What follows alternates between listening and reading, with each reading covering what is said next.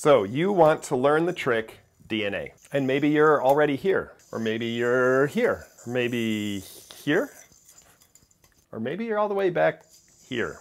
So in this video, I'm going to teach you how to perform the trick DNA with no experience necessary. That means I'm going to take you all the way from just getting your first yo-yo right out of its package all the way to being able to perform DNA the same way that you see professionals do it on TikTok and YouTube. Now, the thing about DNA is that there's quite a progression that you need to go through in order to learn the trick. And so I am going to cover all of that in this video, but instead of using a different yo-yo for each phase of the process, I've just found one yo-yo that can take you all the way from the beginning to the end so that you won't feel like right when you're starting to make progress, you need to upgrade your yo-yo to try to figure out the next thing. So we're going to use the Sage Yo-Yo in the starter pack. This is our favorite yo-yo for this whole progression, and as a bonus, I'm actually going to teach you three forms of DNA. One that you can start to do almost right away, one for when you get a little bit better, and then finally the full professional DNA, which is really the trick that you want to learn.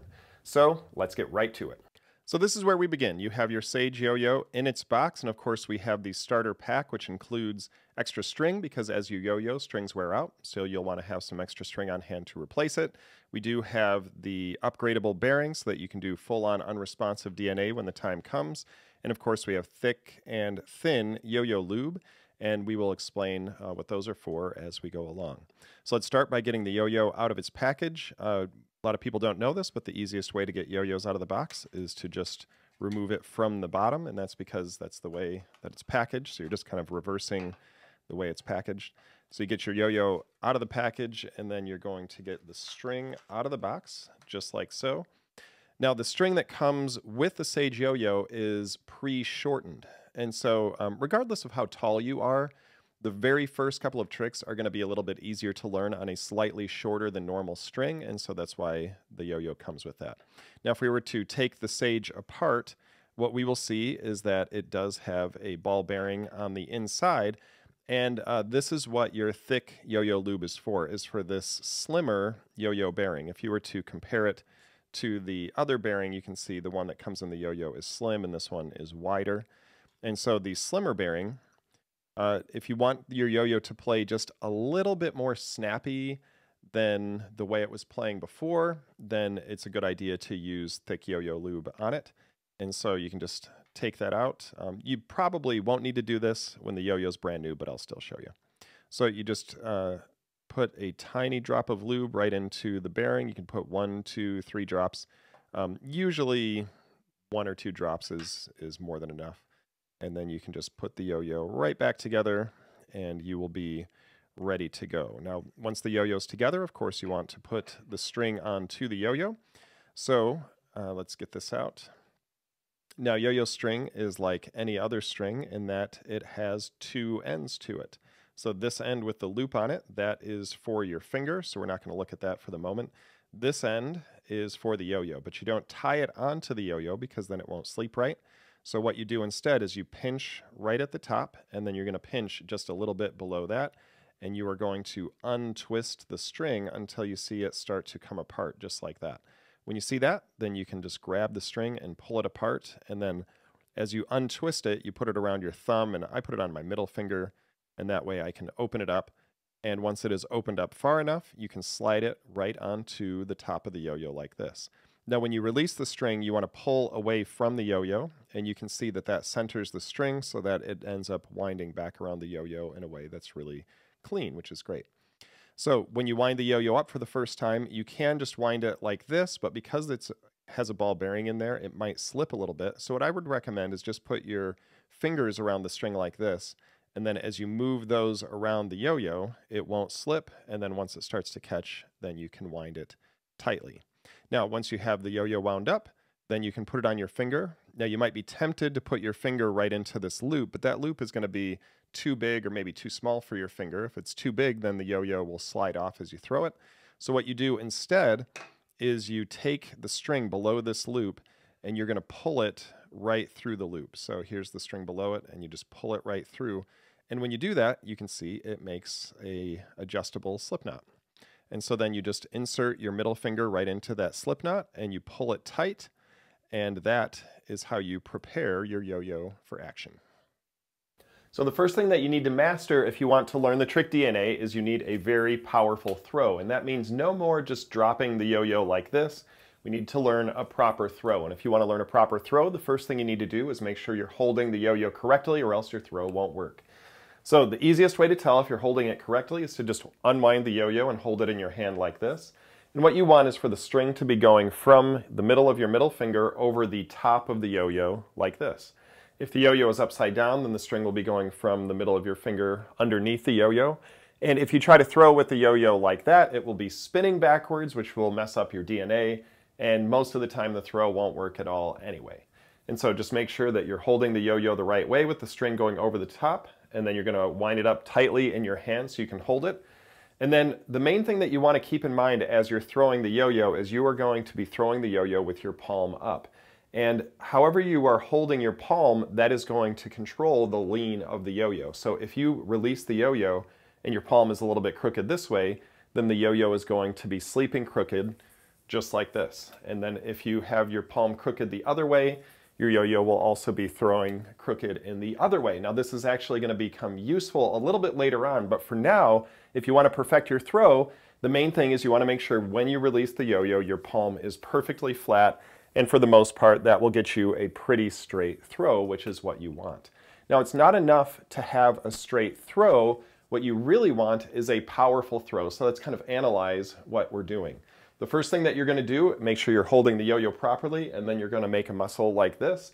And all you're gonna do is extend your hand out, make sure your palm is flat, and when you do that, you'll get a pretty straight throw.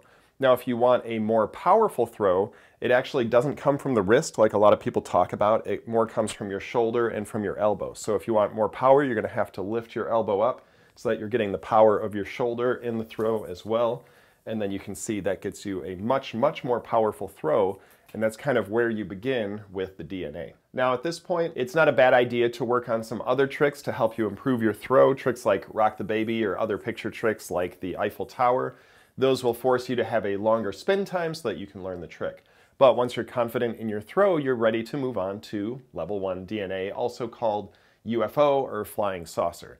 And so what you want to do for this is you are just going to throw a normal throw, but you're going to intentionally throw the yo-yo crooked across your body. And again, the way that you do that is you are going to bend your elbow in so that your palm ends up a little bit crooked in this direction. And that way, when you throw the yo-yo, the yo-yo is going to end up spinning crooked. And that's exactly what you want because you know DNA, the yo-yo is going to be leveled off just like this. Now, in order to perform the UFO, all you're gonna do is make sure that you are throwing the yo-yo as hard as you can. Make sure you throw it very crooked. It doesn't have to be perfectly crooked and you'll see why. And again, just get a really good sleeper, throw it so that it's crooked, and then just wait for the yo-yo to level off and you can see that the yo-yo automatically starts to do a DNA of sorts. Now it's not on your finger, but again, this is just level one. This is just kind of working our way up to it. So again, you're just going to throw it, let the yo-yo start to DNA, and then when it seems like the spin is done, you pull the yo-yo up so it's level to your hand, and if it still has enough spin power, then it will come back. And so don't do this trick too long, just give it a little bit of spin time and then pull the yo-yo up, and you have mastered kind of level one DNA. Now, when you do this, if you are right-handed and you're throwing the yo-yo across your body, if you were to look at your string, you'll see that it's getting looser and looser and looser. And if you were to go like this, you see that it kind of gets into a mess. Now, this is going to help us later on, but we're going to have to learn how to deal with that right now. And so what you can do is you can now do a UFO in the opposite direction. And so again, if instead of turning your hand in like this, you're going to turn it out like this with your elbow out, and just do the same thing. Throw the yo-yo pretty crooked, let it level itself out, get a little bit of spin, pull it up so it's even with your hand and bring it back. And that is going to tighten the string. So as you're working on this, you might want to alternate between the two, and that way the string tension doesn't get too bad. And that'll also give you a good sense of how to look at your string and see if it's too tight or too loose, which is definitely going to help you as you move forward to more advanced DNA tricks. Once you have mastered level 1 DNA, you are ready to move up to level 2 where we're actually going to get the yo-yo spinning on our finger. Now there is a more advanced version, but we'll get there in time. So for level 2, it's basically exactly the same way that you start off level 1. You're going to throw the yo-yo crooked to the inside of your body. And what you're doing is right as the yo-yo begins to level off, At the very moment it levels off, really, you want to try to get your finger right into this finger spin area in the Sage. And if you get the timing just right and you don't bring your hands together too quickly, then the yo-yo will spin on your finger and you will be performing a level 2 DNA. Now one thing that'll make this quite a bit easier is if you don't throw the yo-yo too hard. Now I know that up until this point we've been talking about improving your throw. That's really, really going to help when we get to level 3 and it helped a lot with level 1. But for level 2, it actually is more of a hindrance if your yo-yo is going a little bit too fast. And that's because when you first pick the yo-yo up with your finger, there's a tendency that the yo-yo is going to kind of think that you're pulling it back up and it's going to want to come back even when you don't want it to. Uh, the chances of that happening are a lot less if it's not spinning very quickly. Now, another thing that you're going to encounter, which I think you could anticipate, is since you're throwing the yo-yo across your body for the level 2 DNA, every time you do it, the string is going to be getting a lot looser if you're right-handed, tighter if you're left-handed. And so you will need to compensate for that by doing a level 1 DNA to the outside to tighten the string back up or loosen it if you're left-handed. And so just make sure that you keep all of those things in balance. Now, of course, uh, when I say that this isn't the full DNA, the way that the pros do it on YouTube and TikTok, that's because when they do DNA, they're using an unresponsive yo-yo. That's how they can just pop the yo-yo up and catch it right out of the air as opposed to really gently getting their finger underneath the yo-yo. But of course, if we want to learn how to do that, first we need to get our Sage yo-yo set up for unresponsive play. The first step in setting up your yo-yo, your Sage yo-yo for unresponsive play is to just take it apart. And then you can remove the slim bearing that was on the inside, set that off to the side. And really all you need to do is put in the wider unresponsive bearing that we talked about before. And once you have put your yo-yo back together, you are ready to go. But um, I did tell you that I wanted to let you know about the thin lube. Um, this allows this bearing to keep playing unresponsive longer. So what I typically do is play with this bearing for a little while and get a sense of how it sounds. And um, that usually takes five, ten minutes. And then I will take my thin lube and I will uh, squeeze the bottle so that just a small amount begins to drip off, but not a full drip so that it doesn't come off on its own. Just get a tiny amount to start to pool and then I touch it to the bearing. And when I do that, you will see it start to pool around the shield. Usually one quarter or one half of the bearing is about what you want, which again is less than a full drop, maybe half, maybe even just a quarter of a drop. And then typically I will take uh, maybe an old string and kind of dab the bearing to get all the excess off, and then you can put the yo-yo back together. Now you also see that I have replacement response pads here. Um, the response pads that come on the Sage are not flush with the side of the yo-yo, but they're raised up just a little bit. Um, you can still learn DNA with the response pads like that, so I'm not going to demonstrate how to change these out. But if you ever want your Sage to only play unresponsive ever again, if you know that you're not going to put it back into responsive mode, then all you need to do is peel these out. They're just like stickers, peel them out on either side, and then get your upgraded uh, kind of thinner response pads, and you can put those in, and then they will be flush, and then um, it'll just be set up for unresponsive play all the time. Again, it'll play unresponsive even with the thick pads. And so we will just put the yo-yo back together and we will be ready to go. So what does it mean now that we've set our yo-yo up for unresponsive play? Well, basically what it means is now when we throw the yo-yo, it's going to spin a lot longer, but when we try to pull it back up, it won't come back unless we perform a trick called a bind. And so just so that we can get a little bit more comfortable with how the yo-yo plays here, I'm going to need to teach you how to do a basic bind off of a normal throw. And so what you want to do to bind the yo-yo is again, start with your normal throw just like you typically would. And then to perform the bind, you're going to bring your finger into the string and lift it up. And what you want to do is set the yo-yo right onto about the center of the string and then bring your hands together. Now when you do this the first time, if your hands are not aligned, you'll start to see the yo-yo lean to one side or the other. So it's really important to keep your hands pretty straight so that the strings don't touch the side of the yo-yo. And then what you want to do is pinch the string, the, the tail portion of the string that's going over your opposite hand. And when you pinch it, you're going to raise your yo-yo hand up. And that will cause the string to start to wrap around the axle of the yo-yo, which will cause it to come back up. Now, in order to get this just right, you definitely want to be bringing the string into the front half of the yo-yo. If you put the string into the back half of the yo-yo, then it's not going to bind even if you do everything else correctly. So get the string into the front Make sure you're holding the pinch And the key is to just make sure that when you are changing the height of your hands, there's enough distance that you're able to move between your two hands. And what I mean by that is if your yo-yo is already way up here and you attempt to bind, it might not work because that tail is too short. There's not enough string that you can feed into the yo-yo. So for the most part, for most yo-yos, starting with your hands about even, or definitely if your yo-yo hand is closer to the yo-yo when you pinch, and then again, you just change the height of your hands, which will feed the string into the yo-yo, and that will execute the bind. Now, if you want your bind to be a little bit more clean, another thing that you can do is as you get the timing just right and you see the yo, you kind of know when the yo-yo is going to bind, you drop this hand under the front of the yo-yo and that will toss the string outside the gap so that it will wind up clean and you don't get part of that tail inside the yo-yo. Now the bind is another one of those tricks where you don't need the yo-yo spinning super fast in order to practice it and you'll want to get that down so that you can start working on the rest of the trick.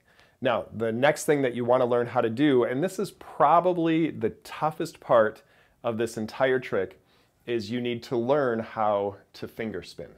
Now, finger spinning is just where you pop the yo-yo up in the air and you catch it out of the air just like this.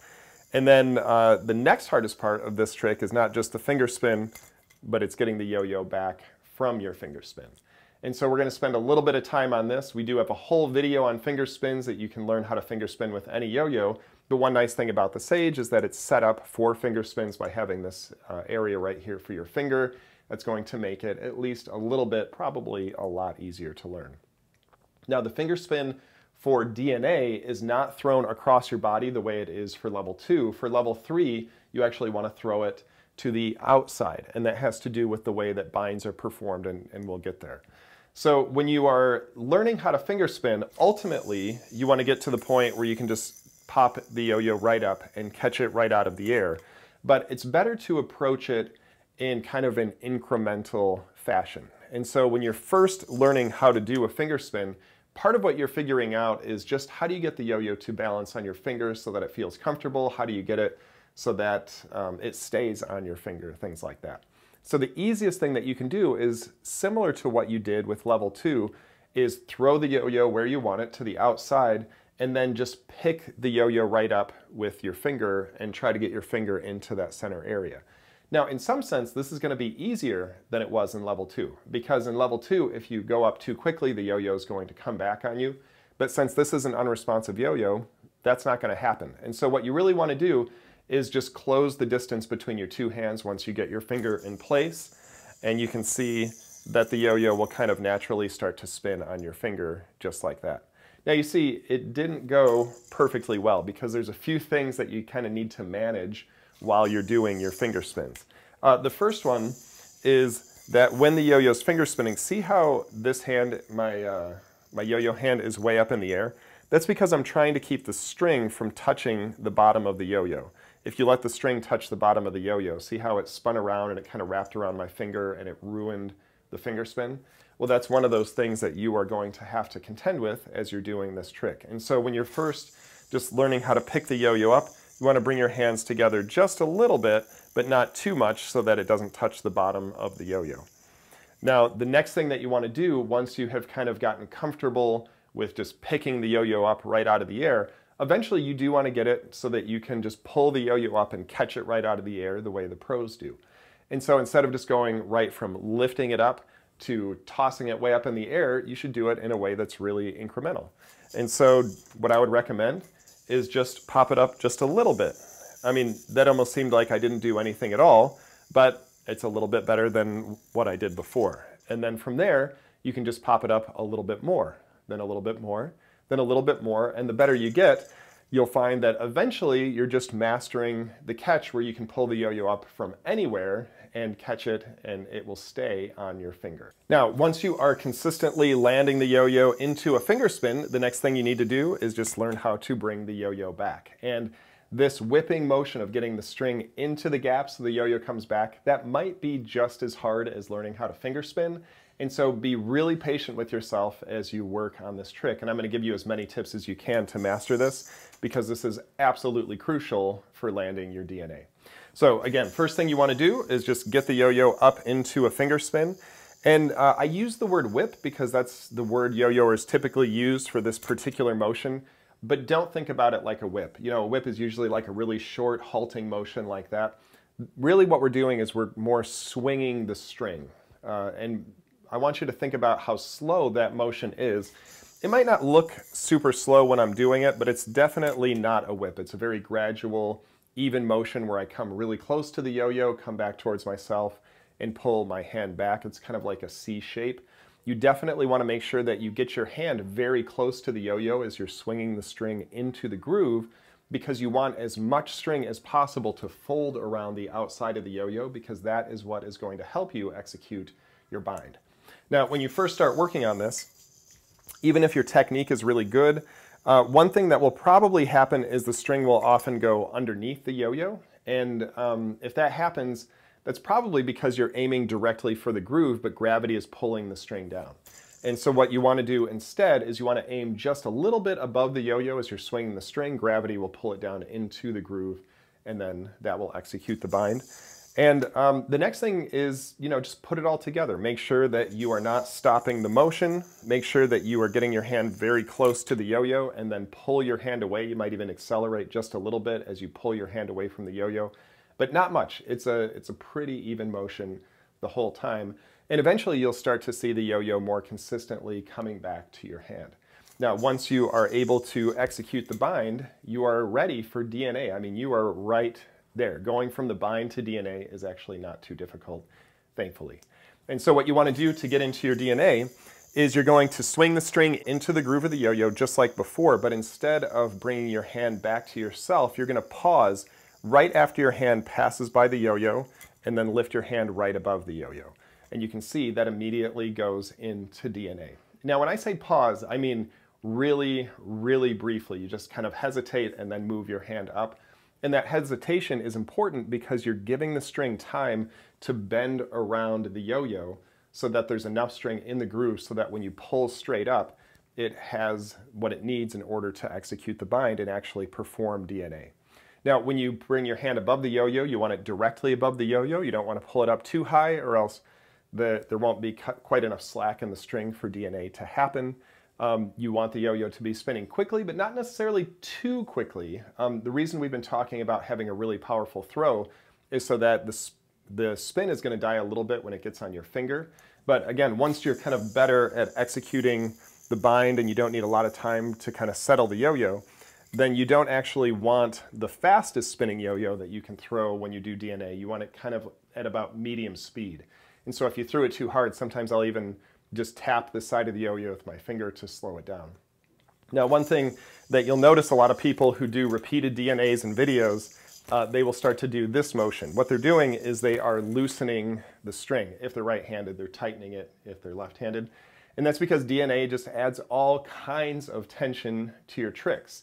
And so you are definitely going to want to learn a fast way to get the string tension out. And I'll teach you a real quick version of this right now. Um, not going to go into detail because we've already learned DNA, but it's good to know. So set up your first bind like you already did, and instead of just pinching and lifting your hands, what you want to do is you're going to swing the yo-yo to the outside, and as you swing it to the outside, once it's as far out as it's going to go, you are then going to swing this hand in toward yourself, and face your palm toward the yo-yo, just like that.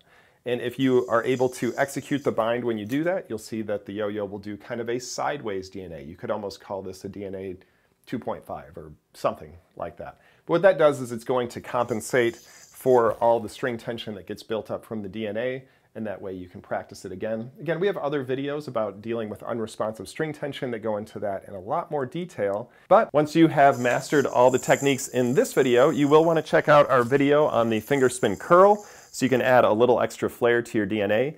And definitely download our free app for Apple, Android, and Amazon devices where you can learn over 300 more tricks with tutorials just like this.